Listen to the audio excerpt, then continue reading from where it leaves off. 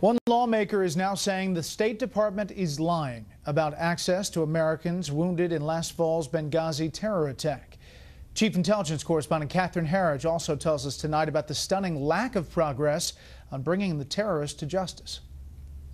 Nearly four months after Egyptian authorities arrested Abu Ahmed, whose followers are suspected of taking part in the Benghazi terrorist attack, the FBI director was asked whether his agents are getting direct access.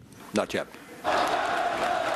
In addition to obstacles in Libya, Egypt, and Tunisia, where the U.S. embassy was nearly overrun three days later, lawmakers were told that U.S. foreign aid to these countries exceeds more than a half billion dollars annually. The very thought that our government will give that foreign aid and not have the FBI being given the access to that individual is unacceptable. In this letter from Republican Susan Collins on the Senate Intelligence Committee, the FBI director is asked to identify the number of suspects and whether any will be extradited to the U.S. for trial.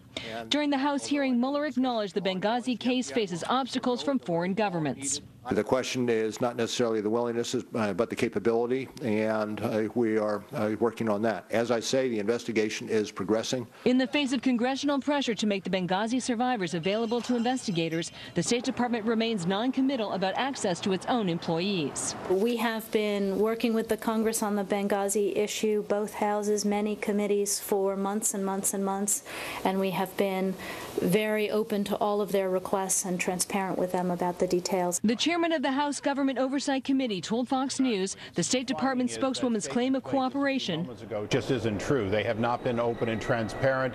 In fact, even the names of the survivors, uh, so they could be asked if they would appear, uh, have not been provided.